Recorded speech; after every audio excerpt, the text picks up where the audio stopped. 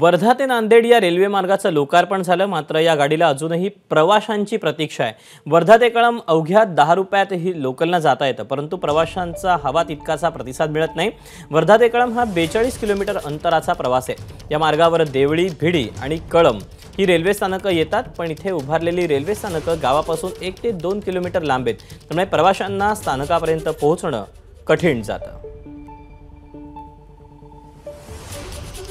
नुकतेच वर्धा नांदेड या रेल्वे मार्गाच्या वर्धा ते कळम या पहिल्या टप्प्याचं काम पूर्ण झाल्यानंतर याचं लोकार्पण करण्यात आलं. पंतप्रधान नरेंद्र मोदी यांच्या हस्ते याचं लोकार्पण झालं. आणि सध्या वर्धा ते कळम ही जी गाडी सुरू झालेली आहे या गाडीच्या संदर्भात आपण पाहू शकतो की ही जी गाडी आहे ही गाडी कळंबपर्यंत पोहोचते आहे. वर्ध्यापासून कळंबपर्यंत एक गाडी जी आहे ती सकाळी आठ वाजताची गाडी. ही गाडी दररोज सकाळी आठ वाजता पोहोचते आणि परत ती दहा वाजता परत येते. एक जो टायमिंग आहे हा सुरू करण्यात आलेला आहे. आणि वर्धा भिडी देवडी आणि कळम अशा प्रकारची जी स्टेशन्स आहेत यामध्ये ती स्टेशन्स येतात.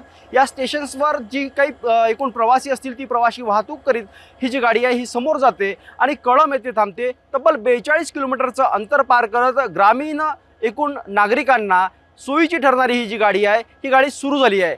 आता जरी अल्पसा प्र- एकूण प्रतिसाद मिळत असला तरी पुढे जो आहे पुढे याचा प्रतिसाद वाढेल अशी अपेक्षा रेल्वे विभागाकडून व्यक्त होते आहे. एकनाथ चौधरी एबीपी माझा वर्धा. एबीपी माझा. उघडा डोळे बघा नीट.